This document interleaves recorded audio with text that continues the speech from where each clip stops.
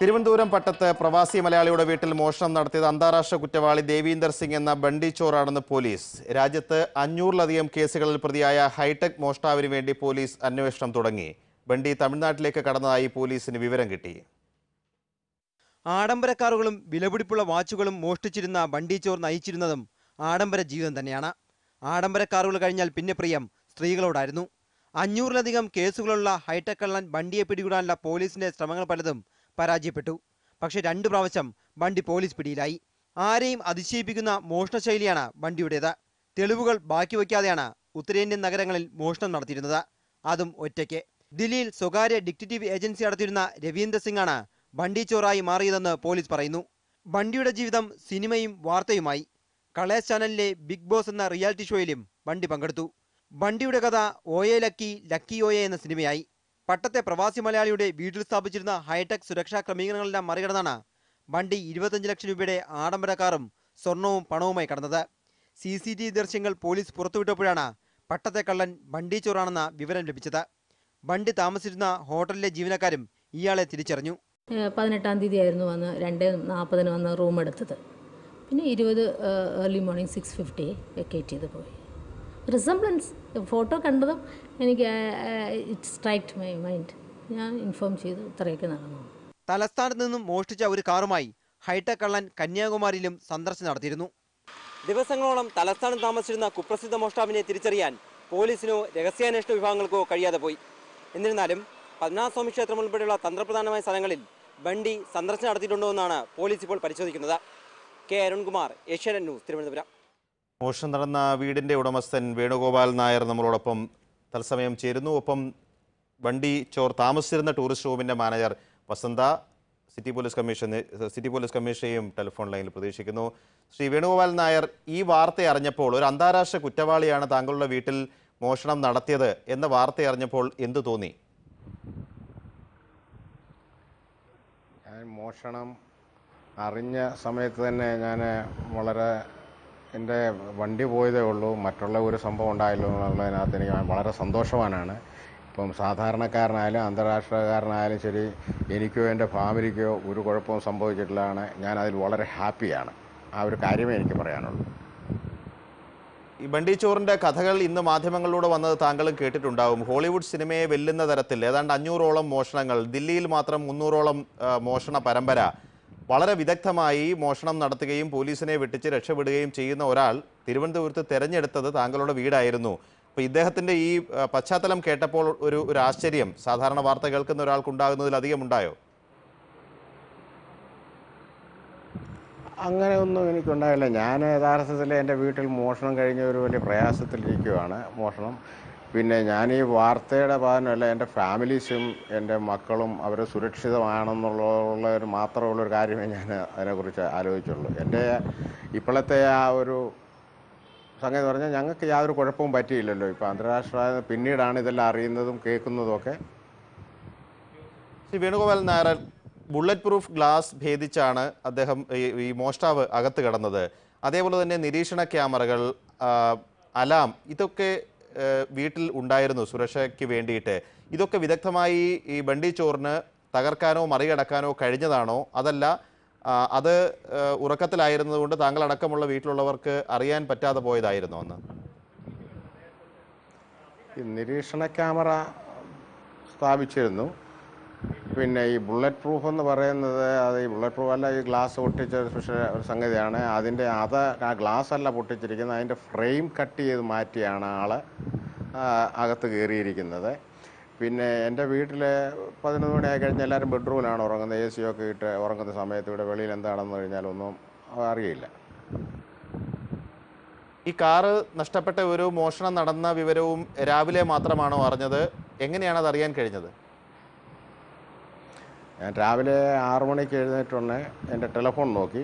Telephone കണ്ടില്ല. അന്നേരം ഞാൻ ആ വൈഫിനോട് പറഞ്ഞു ടെലഫോൺ ഒന്ന് ചെക്ക് ചെയ്യാനായിട്ട് എന്റെ വീട്ടിലെ ഫോണൊന്ന് ഒന്ന് പുള്ളിക്കാരത്തെ വെച്ച് തന്നെ അടിക്ക സ്വിച്ച് ഓഫാണ്. അന്നേരം ഞാൻ പറഞ്ഞ ചിലപ്പം വണ്ടിക്കകത്തായിരിക്കുമെന്ന്. അന്നേരം ഞാൻ വണ്ടിയുടെ ചാവി എടുക്കാൻ നോക്കിയുടനെ ഒരു ട്രേക്കകത്താണ് ഞാൻ എന്റെ വണ്ടിയുടെ ചാവി എല്ലാം വെക്കുന്നത്. ആ ട്രേയെ കാണാനില്ല. അന്നേരം ഞാൻ പറഞ്ഞു ട്രേ ഇവിടുന്ന് കാണുന്നില്ലല്ലോ എന്ന് പറഞ്ഞു. അന്നേരം വൈഫ് പറഞ്ഞു ഒരു മോളെടുത്ത് മാറ്റിയായിരിക്കും. ഇച്ചിരി പഞ്ഞിയും കാര്യങ്ങളൊക്കെ എന്റെ റൂമിൽ കിടക്കുന്നതിന് നമ്മളെടുത്ത് മാറ്റിയായിരിക്കും എന്ന് പറഞ്ഞു. കാരണം വൈഫ് പറഞ്ഞു വണ്ടി നോക്കാൻ പറഞ്ഞു. ഞാൻ പറഞ്ഞു വണ്ടി കാണുന്നില്ല അന്നേരമാണ് വണ്ടി പോയെന്നുള്ളത് എനിക്ക് മനസ്സിലായത്. ഈ ബണ്ടി ചോറ് നിരീക്ഷണ ക്യാമറകൾ തകർത്തിരുന്നു. ഒരു ക്യാമറയിൽ അദ്ദേഹത്തിന്റെ ദൃശ്യം കുടുങ്ങിയതാണ് പിടിക്കാൻ കാരണമായതും. മനസ്സിലാക്കുന്ന വിവരം അകത്തെ ക്യാമറയിലും ഏതാണ്ട് മണിക്കൂറുകളോളം അദ്ദേഹം വീട് ഈ മോഷ്ടാവ് വീട് തിരയുന്നതും മോഷണം നടത്തുന്നതിന്റെയൊക്കെ ദൃശ്യങ്ങൾ പതിഞ്ഞിട്ടുണ്ട് എന്നാണ്. യാ. അതെ ശരിയാണ്. ഇയാൾ ലാസ്റ്റിൽ പോകാൻ നേരമാണ് ഈ ക്യാമറ തകർക്കുന്നത്. എനിക്ക് തോന്നുന്നത് ലാസ്റ്റിലാണ് പുള്ളിക്ക് ക്യാമറ കണ്ട് മനസ്സിലായത്. ഈ സി സി ക്യാമറയിൽ പതിഞ്ഞ ദൃശ്യങ്ങൾ താങ്കൾ കണ്ടിരുന്നോ? ഈ മോഷ്ടാവ് ഏകദേശം എത്ര സമയം ചെലവഴിച്ചു? കാരണം നമ്മൾ കാണുന്ന രംഗത്ത് ക്യാമറയിൽ നോക്കി വളരെ കൂളായി ചിരിച്ചുകൊണ്ട് പോകുന്ന ഒരു രംഗമാണ് അദ്ദേഹത്തിന്റെ ഇപ്പോൾ മാധ്യമങ്ങളിലൂടെ പുറത്തു വന്നത്. പുള്ളി മൂന്ന് മണിക്കൂർ പന്ത്രണ്ട് മണിക്ക് എന്റെ കോമ്പൗണ്ടിൽ കയറി എനിക്ക് തോന്നുന്നത് ഒരു രണ്ട് രണ്ടര ആയിട്ടാണ് വീടിനകത്ത് കയറാൻ സാധിച്ചത്. പുള്ളി മൂന്ന് മണി കഴിഞ്ഞാണ് വണ്ടിയും കൊണ്ട് പോകുന്നത്. ഈ ദൃശ്യങ്ങളെല്ലാമാണ് ഞാൻ ദർശിച്ചിരിക്കുന്നത്. എന്താണ് ആ സമയത്ത് ഇയാൾ ചെയ്യുന്നത്? വീട് ഭേദിച്ച് കടക്കാനുള്ള ശ്രമം മാത്രമാണോ? എന്താണ് ഏത് രീതിയാണ് അദ്ദേഹത്തിന്റെ മോഷണ ശ്രമമെന്ന് ആ ദൃശ്യങ്ങൾ കണ്ടാൽ മനസ്സിലാക്കാൻ കഴിയുമോ?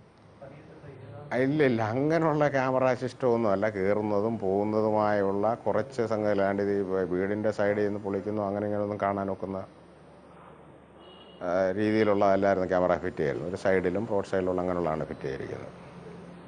ഞാൻ തിരിച്ചു വരാം. ശ്രീ വേണുഗോപാൽ നായർ. വസന്ത ഈ ബണ്ടിച്ചോർ താമസിക്കുന്ന ദേവി ടൂറിസ്റ്റ് ഹോമിന്റെ മാനേജരാണ്. ശ്രീമതി വസന്ത പതിനെട്ടാം തീയതിയാണ് ബണ്ടിച്ചോർ അവിടെ വരികയും റൂം എടുക്കുകയും ചെയ്തിരുന്നത്. എന്തു പേര് പറഞ്ഞാണ് അദ്ദേഹം ഇയാൾ അവിടെ റൂം എടുത്തത്?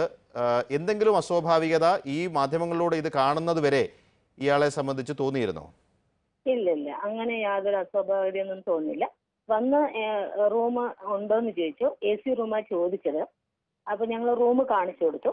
അയാൾ എഗ്രി ചെയ്തു. എന്നിട്ട് ഞങ്ങൾ ആസ് യൂഷ്വൽ ഞങ്ങളുടെ രജിസ്റ്ററിൽ ഫുൾ അഡ്രസ്സ് എഴുതാൻ പറഞ്ഞു.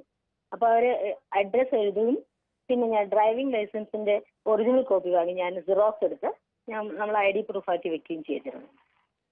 അപ്പൊ ഇന്ന് പത്രത്തിൽ ഈ ഫോട്ടോ കണ്ടപ്പോഴാണ് ഞാൻ ഇവരുമായിട്ട് റിസംബ്ലൻസ് ഉണ്ടെന്ന് പറഞ്ഞിട്ട് ഞാൻ എന്റെ മാനേജ്മെന്റിനെ അറിയിച്ചത്. അപ്പൊ മാനേജ്മെന്റ് ഉടനെ തന്നെ സ്പെഷ്യൽ ബ്രാഞ്ചിലെ ബൈജു സാറിനെ വിളിച്ച് പറഞ്ഞു. അങ്ങനെയാണ് ഇൻഫോം ചെയ്തത്. ഈ മോഷണം നടക്കുന്നതിന് മുമ്പ് തന്നെ താമസിച്ചിരുന്ന റൂം ഇയാൾ വെക്കേറ്റ് ചെയ്തു. അതെ ഇരുപതാം തീയതി കാലത്ത് ആറ് അമ്പതിന് വെക്കേറ്റ് ചെയ്തിരുന്നു. ഈ ഇത് ചർച്ച ചെയ്യാനുള്ള ഒരു പ്രധാനപ്പെട്ട കാരണം എന്തുകൊണ്ട് ഇത്തരം ഒരു അന്താരാഷ്ട്ര കുറ്റവാളി ഇവിടെ എത്തണം? അയാൾക്ക് പത്മനാഭ സ്വാമി ക്ഷേത്രം ഒരു ലക്ഷ്യസ്ഥാനമായിരുന്നു എന്നുള്ളതാണ്. ഇയാൾ രാവിലെ എപ്പോഴാണ് റൂം വിട്ട് പുറത്തു പോകുന്നത് വന്നിരുന്നത്? ഈ മൂ രണ്ട് മൂന്ന് ദിവസം അയാൾ എന്താണ് റൂമിൽ ചെയ്തതെന്നുള്ളത് സംബന്ധിച്ച് ജീവനക്കാരിൽ നിന്നോ എന്തെങ്കിലും വിവരം ലഭിച്ചിട്ടുണ്ടോ? ഇല്ല ഇല്ല അങ്ങനെയൊന്നും ഉണ്ടായിട്ടില്ല. ഈ മോഷണം നടത്തിയ ദൃശ്യങ്ങളിൽ നിന്ന് കാണുന്നത് ഒരു പ്രൊഫഷണൽ മോഷ്ടാവിന്റെ രീതിയിലുള്ള വേഷങ്ങളും കയ്യുറകളും ഒക്കെ ധരിച്ചിട്ടാണ്. അയാൾ സാധാരണ ഒരു വസ്ത്രധാരണ രീതിയാണോ? ഏത് രീതിയിലാണ് അദ്ദേഹം ഇയാൾ റൂമിൽ വരികയും പോവുകയും ചെയ്തിരുന്നതെന്ന്? സാധാരണ സാധാരണ വസ്ത്രധാരണ രീതി തന്നെയാണ്. അസ്വാഭാവികമായിട്ട് യാതൊന്നും ഇല്ലായിരുന്നു.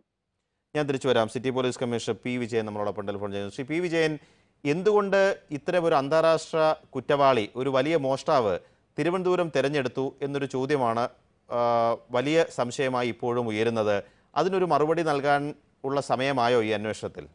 അല്ല ഇതുവരെ ഞങ്ങൾ ആളെ കയ്യിൽ കിട്ടുന്നതിന് മുമ്പ് നമുക്കത് പറയാൻ പറ്റത്തില്ല. കാരണം നമ്മൾ കുറെ കൂടി അന്വേഷിച്ച് മനസ്സിലാക്കേണ്ടുന്ന കാര്യങ്ങളുണ്ട്.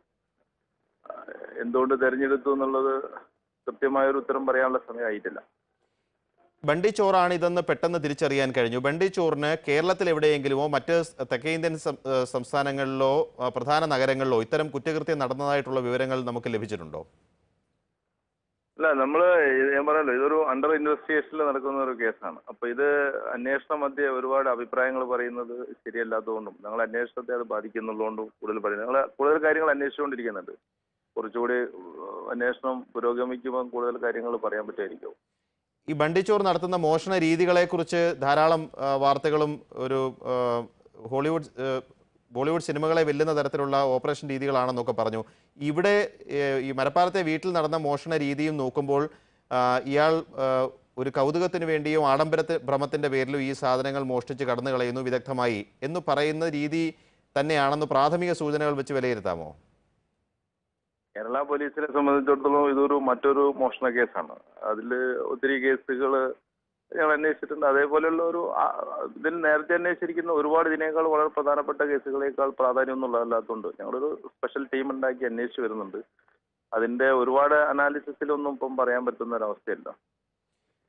ഇയാൾ വണ്ടിയുമായി അവിടെ നിന്ന് കടന്നു. വണ്ടിയിൽ ജി പി എസ് സംവിധാനം ഉണ്ടായിരുന്നു. അതൊരു പക്ഷേ ഈ കുറ്റവാളിയെ കണ്ടെത്താൻ എളുപ്പമാണെന്നും വാർത്തകൾ വന്നിരുന്നു. വെളിപ്പെടുത്തുന്നതിൽ പരിമിതികൾ താങ്കൾക്കുണ്ടായിരിക്കാം. പക്ഷേ ആ സംവിധാനം വെച്ചിട്ട് ഇയാളെ പെട്ടെന്ന് തന്നെ കണ്ടെത്താനും പിടികൂടാനും കഴിയുമെന്നുള്ള പ്രതീക്ഷയുണ്ടോ?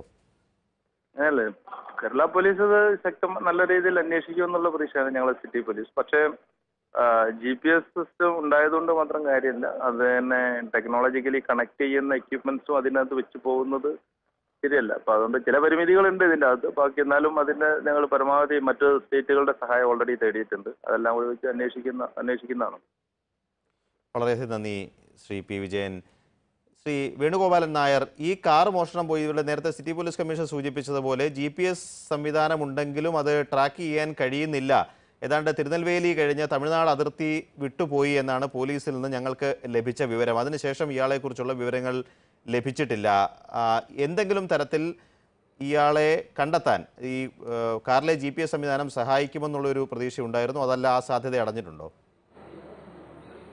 ഇല്ല ഈ ജി പി എസ് എന്ന് പറയുന്നത് ഇതൊരു സെപ്പറേറ്റ് ആണ്. നമ്മൾ സിഗരറ്റ് ലൈറ്റർ കണക്ട് ചെയ്തിട്ട് ഒരു ചെറിയ ഒരു സംഗതിയാണ്. നമ്മുടെ ആവശ്യത്തിന് വേണ്ടി എവിടെയും പോകുമ്പം ഈ കിലോമീറ്റർ എപ്പോൾ എത്താന്നുള്ള ഒരു സംഗതിയാണ്. അത് ഞാൻ ആവശ്യമുള്ളപ്പോൾ ഇപ്പം സ്ഥലം അറിയാൻ പറ്റാത്ത ലൊക്കേഷൻ പോകുമ്പോൾ അത് മാത്രമേ അത് യൂസ് ചെയ്തെടുത്ത് അതിന്റെ അകത്ത് തന്നെ വെച്ചേക്കുവാണ്. എന്ന് വെച്ചാൽ ഈ നമ്മളെ ഈ ചാർജർ ലൈറ്റിനകത്ത് കുത്തി കഴിഞ്ഞാലേ ഈ ഇത് വർക്ക് ചെയ്യുള്ളൂ. എതിർച്ചു വരാം. Retired S P Shri Venugopal നമ്മളോടൊപ്പം ചേരുന്നു. ശ്രീ വേണുഗോപാൽ ധാരാളം മോഷണങ്ങൾ നടക്കുമ്പോഴൊക്കെ അന്താരാഷ്ട്ര അന്ത- അന്തർ സംസ്ഥാന ബന്ധമുണ്ടെന്നൊക്കെ പറയാറുണ്ട്. പക്ഷേ ദില്ലിയിൽ ഇത്രമാത്രം വലിയ കുറ്റകൃത്യങ്ങൾ ചെയ്തിട്ടുള്ള അന്താരാഷ്ട്ര കുറ്റവാളി തിരുവനന്തപുരം നഗരം തിരഞ്ഞെടുക്കുന്നു. ഏതായാലും വേണുഗോപാലൻ നായരുടെ വീട് മാത്രം ലക്ഷ്യം വെച്ചുകൊണ്ടല്ല അയാൾ ഇവിടെ എത്തിയത് എന്ന് അനുമാനിക്കാനുള്ള സാഹചര്യങ്ങൾ ധാരാളമുണ്ട്. പിന്നെ എന്തുകൊണ്ടാവാം? പത്മനാഭസ്വാമി ക്ഷേത്രം എന്നുള്ളൊരു ഊഹം മാത്രമായിരിക്കുമോ? ബണ്ടി ചോറിനെ പോലെ ഒരാൾ വലിയ ഒരു ലക്ഷ്യസ്ഥാനം കാണാതെ തിരുവനന്തപുരത്ത് എത്തുമോ?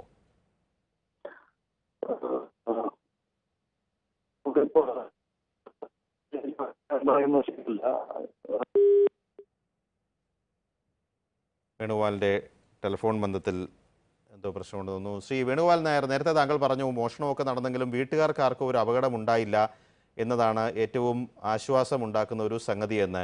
പക്ഷേ അതോടൊപ്പം തന്നെ എത്രമാത്രം സുരക്ഷാ സംവിധാനങ്ങളൊക്കെ നമ്മൾ വീടുകളിൽ ഒരുക്കിയാലും ഒരു ആൾ ഒരു മോഷ്ടാവ് വിചാരിച്ചു കഴിഞ്ഞാൽ അത് തകർന്ന് തകർത്ത് ഉള്ളിലേക്ക് കടക്കാം എന്ന ഒരു സംശയം കൂടി ഈ സംഭവം ജനിപ്പിക്കുന്നുണ്ടോ? താങ്കളുടെ അനുഭവത്തിൽ എന്ത് തോന്നുന്നു?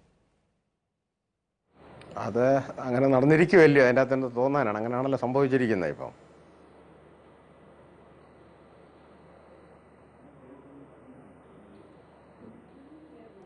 വളരെയധികം നന്ദി ശ്രീ വേണുഗോപാൽ നായർ ഒപ്പം Venugopal Vasantha city police commissioner P. Vijayan